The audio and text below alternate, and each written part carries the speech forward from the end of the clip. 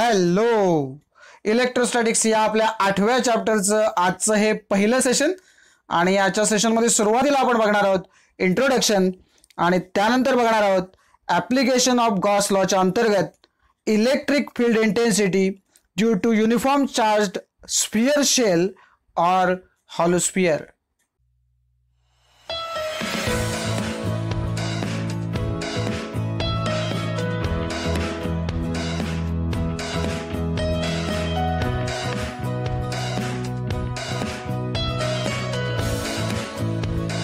मागच्या वर्षी आपण गॉस लॉचा अभ्यास केला होता ज्याच्यामध्ये आपल्याला इलेक्ट्रिक चार्ज आणि त्याचं इलेक्ट्रिक फील्ड याच्यामधली रिलेशनशिप याचा आपण अभ्यास केला होता.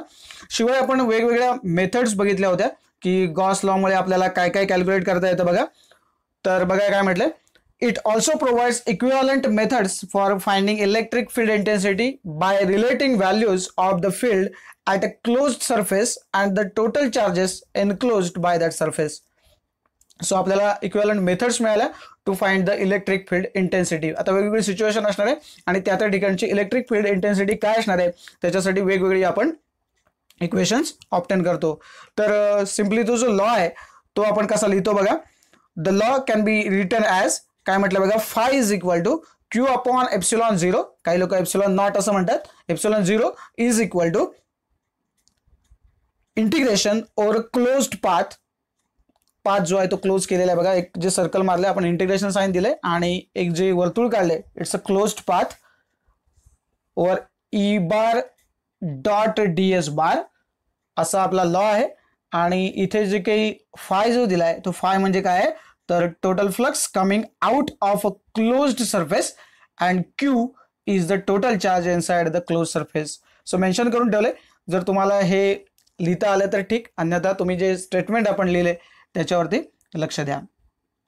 ओके तर हे होतं गॉस लॉचं स्टेटमेंट आणि आता आपण थेट वळणार आहोत त्याच्या ॲप्लिकेशनकडे तर ॲप्लिकेशन्स ऑफ गॉस लॉच्या अंतर्गत आपण पहिलं ॲप्लिकेशन जे बघणार आहोत ते काय आहे? Electric field intensity due to uniformly charged spherical shell or hollow sphere so याच्यासाठी आपल्याला काय करावं लागेल?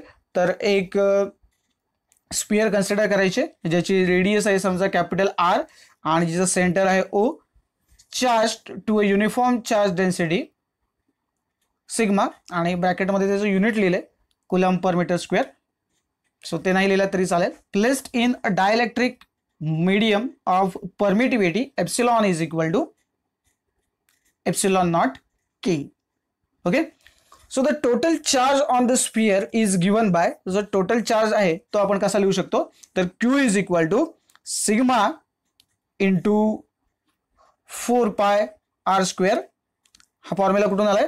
तर जो टोटल चार्ज आहे तो आपण कसा करणार? डेन्सिटी आणि त्याला आपण कशाने मल्टिप्लाय केले तर सरफेस एरियानं मल्टिप्लाय केले so by Gauss theorem the net flux through a close surface is given by phi is equal to Q upon epsilon zero. आपण असं एरवी बघतो की phi is equal to Q upon epsilon असं लिहिलेलं असतं. इथे एप्सिलॉन झिरो असं दिसतंय. काय म्हटलंय बघा पुढे? For air or vacuum K is equal to one okay तो प्रत्यक्षामध्ये लिहिताना कसं लिहिलं असतं ते? Q upon epsilon zero K असं आपल्याला मिळतं. आणि के ची व्हॅल्यू इथे वन आहे. ओके आणि epsilon zero K is equal to आता जे तुम्हाला इथे दिसतंय बघा लिहिलेलं काय लिहिलंय इथे? जर या ठिकाणी तुम्ही बघितलं तर हाच जो काही एप्सिलॉन आहे हा एरवी जर इथे एप्सिलॉन असता म्हणजेच एप्सिलॉन झिरो के असता इथे तर काय झालं असतं? तर के जर वन असेल तर मग क्यू अपॉन एप्सिलॉन झिरो एवढंच इथे शिल्लक राहतं. ह्या इक्वेशनला नंबर देऊन टाकूया. इक्वेशन नंबर वन आणि त्यानंतर मेन्शन करून ठेवूया. Q is the total charge inside the closed surface ठीक आहे? त्यानंतर आता जे मेन्शन केलंय तुम्ही स्पियर ऑफ रेडियस आर वगैरे तर त्याची डायग्राम जी आहे ती तुमच्यासमोर आणली पाहिजे. आणि मग पुढच्या डिस्कशनला आपण सुरुवात करूया. तर बघा ही ती डायग्राम आहे. ज्याच्यामध्ये आपण बघतोय की ही जी रेडियस आहे या स्पियरची ती ॲक्च्युली आर आहे. ओके सध्या तुर्तास एवढंच. आणि पुढच्या डिस्कशनकडे आता वळूया आपण. ओके बघा to find the electric field intensity at a point P okay so P point कुठे घेतलाय बघा? तुम्हाला इथे पी पॉईंट दिसतोय. हा पी पॉईंट बरोबर आहे. ॲट अ डिस्टन्स काय म्हटलं बघा? Small R from the centre of charge sphere असं म्हटलंय. ओके सो आपण एक बाहेर एक डॉटेड सर्कल काढले बघा. दिसते ओके सो ही त्याची रेंज आहे ऍक्च्युली इथली आपण जर का कुठलाही पॉईंट जर घेतला तर मग या सर्कलची रेडियस किती दाखवली आहे बघा? इथे आर दाखवली आहे. बरोबर आहे? म्हणजे या सर्कलवरचा कुठलाही पॉईंट हा सेंटरपासून किती अंतरावर आहे? स्मॉल आर इतक्या अंतरावर आहे. तसाच मग हा जो पी पॉईंट आहे हा किती अंतरावरती आहे? तर आर इतक्या अंतरावर आहे. हे आपल्याला दिसतंय बघा. ओके? तर आपल्याला या पी या पॉईंटची काय करायची आहे? तर इलेक्ट्रिक फील्ड इंटेन्सिटी जी आहे ती बघायची आहे. ओके? काय म्हटलं बघा? Imagine a concentric Gaussian sphere of radius R passing through P so आपण हा हे जी काही स्पियर आपण काढली आहे तिला आपण काय म्हटलंय? गॉशियन स्पियर असं म्हटलंय. ऑफ रेडियस आर जिची रेडियस किती आहे? तर स्मॉल आर आहे आणि it is passing through P या पी मधून पास होणारं हे स्पियर आहे. बरोबर आहे? सो अशा पद्धतीने आपण हे ड्रॉ केलंय. सो या ठिकाणी तुम्हाला इथे डीएस दिसतोय बघा. सो हा डीएस काय आहे? तर small area around the point P on this surface या सरफेसला आपण काय म्हटलंय? गॉशियन सरफेस सो लिहून टाकूया ते पण let d s be a small area around point P on the Gaussian surface आणि पुढे आपल्याला असं म्हणता येईल की हे जी काही स्पियर आहे ती डेफिनेटली तुम्हाला दिसतं की त्याचा एक काहीतरी पर्टिक्युलर सेंटर आहे. याचा अर्थ हे सिमेट्रिक आहे ही diagram so due to symmetry and considering that spheres is concentric the electric field at each point on the Gaussian surface has the same magnitude E and it is directed radially outward okay so electric field जर आपण प्रत्येक पॉइंटचं जर बघितलं तर काय असणार आहे definitely हा जो काही गॉशियन सरफेस आपण म्हटलं आहे म्हणजे ही जी काही बाहेरची डॉटेड सर्कल जे तुम्हाला दिसतंय पूर्ण तर याच्यावरती कुठल्याही ठिकाणी जरी पॉइंट पी असला असता तर त्याची काय असणार आहे? जी इलेक्ट्रिक फील्डची जी काही मॅग्नेट्यूड असणार आहे ती ई असणार आहे सगळीकडे सारखी असणार आहे. आणि त्याचं जी डिरेक्शन आहे डेफिनेटली ती काय असणार आहे? तर रॅडियली आउटवर्ड म्हणजे ही बाहेरच्या दिशेने असणार आहे. शिवाय angle between the direction of E and the normal to the surface of the sphere that is d s is zero आपल्याला दिसतंय बघा ही जी इलेक्ट्रिक फील्ड इंटेन्सिटीची जी डिरेक्शन आहे आणि ही जी काही डी एस आहे बघा दोन्ही ॲरो बघा बॅक टू बॅक दिसत आहेत तुम्हाला. सो याचा अर्थ काय झाला? तर या दोघांमधला जो अँगल आहे तो किती आहे? तर झिरो आहे. सो मेन्शन करून टाकूया ते.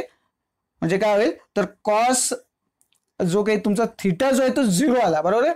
म्हणजे कॉस थिटा म्हणजे कॉस झिरो किती होईल? तो वन होईल. म्हणून आपण कसं लिहू शकतो बघा? Cos theta is equal to directly me one म्हटलं मागच्या वर्षी जेव्हा आपण डॉट प्रॉडक्ट च्या कॅरेक्टरिस्टिक बघितल्या होत्या किंवा प्रॉपर्टीज बघितल्या होत्या त्याच्यामध्ये आपण बघितलं होतं की जेव्हा डॉट प्रॉडक्ट असणार आहे सो जेव्हा E bar dot d s bar असणार आहे तेव्हा या दोघांमधला जो अँगल असणार आहे तो कोसाईन असणार आहे बघा. आणि जेव्हा क्रॉस प्रॉडक्ट असतो तेव्हा आपण तिथे काय घेतो? साईन घेतो साईन थिटा घेतो ओके? सो या ठिकाणी आपल्याला काय घेता येईल E into d s cos theta so ज्यावेळेला आपण मॅग्नेट्यूड वाईज घेतोय त्यावेळेला मग इथे काय झालं? जेव्हा आपण वेक्टर साईन जी आहे ती इथून काढून टाकली आणि या दोघांमधला अँगल आपल्याला बघायचा आहे त्याचा कॉस घ्यायचा आहे ओके? सो या परिस्थितीमध्ये काय झालं? आता आपण म्हटलं की कॉस थिटा म्हणजेच कॉस झिरो किती झाला? वन झाला. आणि त्यामुळे इफेक्टिव्हली ती किती आली? E into d s so mention करून टाकूया आपण. Flux d phi through the area d s is equal to E into d s so हे फक्त सिम्पली या पद्धतीने आपण मांडूया. आता जे कॅल्क्युलेशन आपण जे वेक्टरचं कन्वर्जन आपण स्केलर फॉर्ममध्ये करून घेतलं ते नॉर्मली लिहून घेऊया डेरिव्हेशनच्या स्टेप्समध्ये सो बघा total electric flux through the Gaussian surface so phi is equal to काय होतं आपल्याकडे? तर integration over a closed path E bar dot d s bar आणि आता आपण बघितलंय की E bar dot d s bar म्हणजेच काय झालंय? याचं कन्व्हर्जन आपण करून घेतलं ते किती आलंय? E d s okay so ते मेन्शन करून टाकूया. लगेच पुढच्या स्टेपला integration over a close path E into d s आणि आपल्याला माहिती आहे आपण जे बघितलं होतं त्याच्यामध्ये असं म्हटलं की इलेक्ट्रिक फील्ड इंटेन्सिटी जी आहे ती त्या गॉशियन सरफेसवरती काय आहे? तर कॉन्स्टंट आहे असं आपण मेन्शन केलं होतं बघा आत्ताच. म्हणून हा जो ई आहे तो आपण त्या इंटिग्रेशन साईनच्या बाहेर घेऊ शकतो. So phi is equal to E into integration over close path d s okay आता तो जो काही सरफेस एरिया आहे तो जो सरफेस एरिया मगाशी आपण बघितला तो किती आहे? तर मगाशी लिहिलं होतं आपण फोर पाय आर स्क्वेअर ठीक आहे? सो जर त्याची जर व्हॅल्यू आपण इथे सबस्टिट्यूट केली तर आपण कसं लिहू शकतो? तर phi is equal to E हा जो ई होता तो तसाच राहिला आहे बघा. आणि ही जी व्हॅल्यू आहे ना integration over close path d s ती कितीला टाकली आपण? Four pi R square. So याला एक नंबर देऊन टाकूया इक्वेशनला इक्वेशन नंबर टू देऊया. मग अशी आपण इक्वेशन नंबर वन वापरलं होतं. तिथे सुद्धा आपण फायसाठी मला वाटतं लिहिलं. आहे बरोबर ना? फाय इज इक्वल टू लिहिलं होतं. Yes phi is equal to काय लिहिलं होतं? तर Q upon epsilon zero so दोन्ही फायच्या ज्या किमती आहेत त्यामुळे आपण इक्वेट करू शकतो. Equation number one and two so लिहून टाकूया. Equating equations one and two Q upon epsilon zero is equal to काय येईल मग? E into four pi R square and therefore E is equal to काय येईल मग? हेच थोडंसं रिअरेंज केलंय. काय झालं? तर हा जो काय फोर पाय आर स्क्वेअर जो आहे तो फक्त काय झाला? इकडच्या साईडला आला. फक्त आपण हा एप्सिलॉन झिरो इथे घेतला. बघा मध्ये आलाय. Okay four pi epsilon zero into R square ठीक आहे? पण हे जे काही इक्वेशन आपण ऑप्टेन केले त्यालाही एक आपल्याला नंबर देऊन ठेवायला हरकत नाही. सो नंबर देऊन ठेवूया. इक्वेशन नंबर थ्री कारण आपण हे पुढे वापरणार आहोत. ओके पण इथली जी काही सिच्युएशन आहे मगाशी आपण म्हटलं होतं बघा की जो charge Q is given by वगैरे असं मेन्शन केलं होतं तर तेही पुन्हा एकदा आठव आठवा. आणि असं म्हटलं होतं बघा मगाशी तेच पुन्हा लिहितोय Q is equal to sigma into four pi R square बरोबर आहे? हे मगाशीच आपण बघितलं होतं. तर ही जर या जर इक्वेशन नंबर थ्रीमध्ये जर का ही आपण क्यूची जी व्हॅल्यू आहे ना इथली ही जर आपण सबस्टिट्यूट केली तर आपल्याला नवीन एक इक्वेशन ईसाठीचं e मिळेल. सो मी फक्त काय करतो बघा या इक्वेशन थ्रीमध्ये आता मी लिहित बसत नाही येते सबस्टिट्युटिंग दिस व्हॅल्यू इन वगैरे. तर बघा डायरेक्ट मी दाखवतो तुम्हाला की क्यूच्या ऐवजी फक्त मी हे सबस्टिट्यूट करतोय. Okay therefore E is equal to काय होईल मग? हे बघा. ही फक्त काय केली? क्यूची जी व्हॅल्यू होती ती इथे सबस्टिट्यूट केली. आणि तुम्हाला इथे दिसतं बघा आता काय काय तर इथे फोर पाय फोर पाय जे आहेत ना ते दोन्हीकडे कॉमन आहेत बघा. न्युमरेटर आणि डिनॉमिनेटरमध्ये मग ते निघून जातील. इथे सिग्मा इंटू आर स्क्वेअर राहिलं आणि इथे काय शिल्लक राहील? Epsilon zero into small R square okay तर ते पण लिहून टाकूया. हा आपल्याला एक आणखीन एक नवीन इक्वेशन मिळालं आणि याला इक्वेशन नंबर देऊन टाकूया. इक्वेशन नंबर पुढचं इक्वेशन नंबर फोर ठीक आहे? ही जी इक्वेशन्सला मी नंबर दिलेत ना तुम्हाला हे परीक्षेमध्ये न्युमरिकलसाठी आपल्याला वापरायचे असतात. हे लक्षात घ्या. हे फॉर्म्युले जे करतोय आपण आज आपण जे न्युमरिकल बघणार आहोत तिथे सुद्धा आपण हे वापरणार हे लक्षात घ्या. त्यामुळे याच्यावरूनच आपण ते थेट लिहिणार आहोत. सो जे इक्वेशन नंबर थ्री जे आपल्याला जे दिसतंय आपण एक कन्क्लुजन बघा. So from equation number three it can be seen that the electric field at a point outside the shell is the same as due to a point charge so equation काय सांगू शकतो? तर जे electric field at a point outside the shell is same as that due to a point charge so एक point चार्जमुळे जेवढं काही electric field असणार आहे तेवढंच काय असणार आहे? तर ते electric field outside the shell असणार आहे. So it can be concluded that a uniformly charged sphere is equivalent to a point charge at its centre so काय म्हटलं बघा? की जर का युनिफॉर्मली चार्ज जर स्पिअर आपण कन्सिडर केला तर it is equivalent to the point charge at its centre. So याच्यामध्ये आपण दोन केसेस ज्या आहेत त्या फक्त डिस्कस करणार आहोत आज. आणि त्याच्यानंतर एक न्यूमरिकल बघणार आहोत. तर त्यातली पहिली केस बघा. केस पहिली if the point P lies on the surface of charge sphere so या केसमध्ये काय म्हटलं? पी जो पॉइंट आहे तो त्या चार्ज स्पिअरच्या सरफेसवरती आहे ओके सो आपण तो जो आर घेतला होता ना तो कितीवर या ठिकाणी? तर कॅपिटल आर असं लिहिता येईल आपल्याला. कारण तो जो पॉईंट पी होता तो बाहेरच्या सर्कलवरती नाही तर आतल्या सर्कलवर असणार आहे. बरोबर आहे? Lies on the surface of charge sphere असं म्हटलं आहे त्यामुळे जी स्मॉल आरची व्हॅल्यू आहे ती किती होईल? आर होईल. तो जो पॉईंट पी आहे तो कुठे असणार आहे? तर त्या चार्ज स्पिअरवरतीच असणार आहे हे लक्षात घ्या. सो आपण जे आत्ता मगाशी जे इक्वेशन लिहिलं होतं त्याच्यात काय लिहिलं होतं? We have is equal to this okay हा फॉर्म्युला तुमच्यासमोर आहे. पण आत्ता आपण काय म्हणतो? आर आणि आर दोन्ही सेम आहेत. बरोबर आहे? मग हा जर आर स्क्वेअर आणि हा आर स्क्वेअर जर सेम झाले तर हे एकमेकांना कॅन्सल होऊन जातील बघा. आणि म्हणून आपण काय लिहू शकतो? तर E is equal to sigma upon epsilon zero okay रेफरन्सला पाहिजे तर लिहून ठेवा. पुन्हा एकदा वरती लिहिलंच आहे मी पण पुन्हा एकदा रेफरन्सला लिहून ठेवूया. R is equal to R आणि त्यामुळे R is R R is equal to R झाल्यामुळे आपण हे आर स्क्वेअर आणि हा आर स्क्वेअर कॅन्सल केला आहे. ही कंडिशन आहे लक्षात घ्या. नाहीतर ते असे जाणार नाहीत एरवी. ठीक आहे? तर याच्यानंतर आपण बोलूया आपल्या दुसऱ्या केसकडे एकदम सिंपल केस आहे. त्याच्यात काय कठीण आहे तो फॉर्म्युला आहे. तिथे फक्त एकच जी काही व्हॅल्यू आहे आपल्याकडे R is good to R ते आपण फक्त टाकली आणि त्याच्यानंतर ही व्हॅल्यू ऑप्टेन केली. तशीच आपली जी दुसरी केस आहे ती पण तशीच एकदम इझी केस आहे बघा. केस टू आहे. If the point P lies inside the sphere समजा तो जो पॉईंट पी आहे तो स्पियरच्या आतमध्ये असेल. बरोबर आहे? तर काय होईल?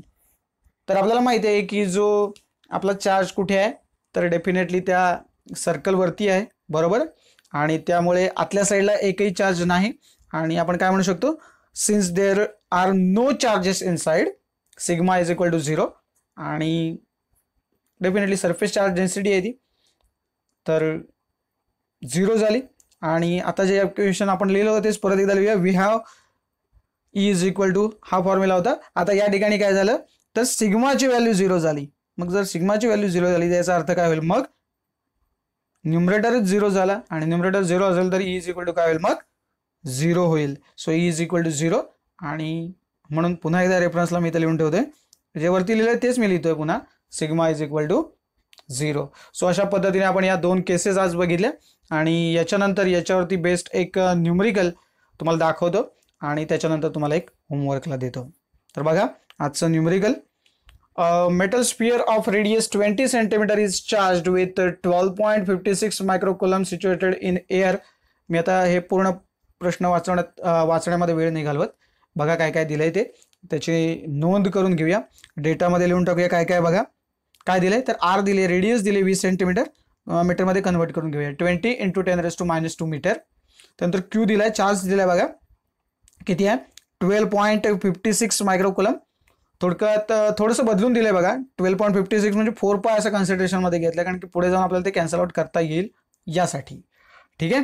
सो आपल्याला माहिती आहे तीन पॉईंट चौदा ही आपली पायची किंमत आहे आणि त्याच्या चौपट ही बारा पॉईंट छप्पन आहे. म्हणून आपण तिथे फोर पाय असं सबस्टिट्यूट केले so four pi micro coulomb आणि मग ते कुलममध्ये जेव्हा कन्वर्ट करायचे असतील तेव्हा आपल्याला माहिती आहे मिली म्हणजे ten raise to minus three आणि मायक्रो असतील तर minus ten raise to minus six अशा पद्धतीने आपण मल्टिप्लाय केलंय. आपल्याला काय विचारलंय बघा इथे असं म्हटलंय कॅल्क्युलेट सॉरी इथे पहिल्यांदा म्हटलंय find the surface density of the charge okay so surface density म्हणजे सिग्मा आपल्याला कॅल्क्युलेट करायचा आणि मग ते डिस्टन्स जे आहे ना पॉईंटचं जे आहे ते आपल्याला त्यांनी विचारलंय. बरोबर? ऍक्च्युली आपला फॉर्म्युला जो थोडंसं मॉडिफाय इथे करून घ्यावा लागेल. सो विचारलंय त्यांनी डिस्टन्स विचारलंय. त्यामुळे ते आरची व्हॅल्यू त्यांनी विचारली आहे. So sigma is equal to question mark आणि R is equal to question mark असे दोन गोष्टी आपल्याला इथे कॅल्क्युलेट करायच्या तर त्यासाठी लागणारे फॉर्म्युले जे आहेत ना ते पहिल्यांदा आपण तयार करून घेऊया. आणि मग याच्यानंतर आपण आपल्या सोल्युशनकडे वळूया. तर फॉर्म्युलांची लिस्ट करून घेऊया. पहिला आपल्याकडे एक फॉर्म्युला जो आहे तो क्यू इज इक्वल टू मगाशी जो बघितला होता तो काय होता? Q is equal to sigma into four pi R square आणि त्याच्यामुळे आता आपल्याला सिग्मा कॅल्क्युलेट करायचा आहे बघा. ओके सो सिग्मा कॅल्क्युलेट करताना काय होईल? Sigma is equal to four pi R square जो आहे तो फक्त काय होईल? क्यूच्या साईडला येईल आणि तो डिनॉमिनेटरमध्ये जाईल. Okay so sigma is equal to Q upon four pi R square असं होईल. आणि दुसरा जो फॉर्म्युला आहे आरसाठी तो आपण कसा घेऊ शकतो बघा? तर आपल्याकडे फॉर्म्युला कुठला आहे? तुम्ही हा जो फॉर्म्युला आहे ना हे तुम्ही नाही लिहिला तरी चालेल. तुम्ही स्ट्रेट अवे हा फॉर्म्युला लिहिला तरी चालेल. मी फक्त कुठून आणला आहे हे फक्त तुम्हाला दाखवण्यासाठी हे लिहिलंय. तुम्ही डायरेक्ट थेट हा फॉर्म्युला लिहिला तरी चालेल. तसंच आपल्याकडे हा फॉर्म्युला जो आत्ता आपण बघितला जस्ट तो फॉर्म्युला आणि आपल्याला त्यांनी आत्ता विचारलं आर काय आहे? बरोबर ना? सो आपल्याला हे आर स्क्वेअरसाठी रिअरेंज पहिल्यांदा करून घ्यावं लागेल. सो आर स्क्वेअर समजा मी इकडे टाकला आणि ई इकडे नेला तर सिम्पली काय होईल? R square is equal to बघा फक्त जागा बदलली यांची. मी आर स्क्वेअर इकडे नेला आणि ई इकडे नेला बघा. ओके आणि आता आपल्याला आर स्क्वेअर नको आर पाहिजे. म्हणून फक्त आरसाठी काय करावं लागेल? तर या सगळ्या क्वांटिटीचं काय घ्यावं लागेल? तर स्क्वेअर रूट घ्यावं लागेल. So R is equal to या सगळ्या क्वांटिटीचं स्क्वेअर रूट सो अशा पद्धतीने दोन फॉर्म्युले तुम्ही थेट हा फॉर्म्युला आणि हा फॉर्म्युला असे दोन फॉर्म्युले जरी लिहिले तरी हरकत नाही.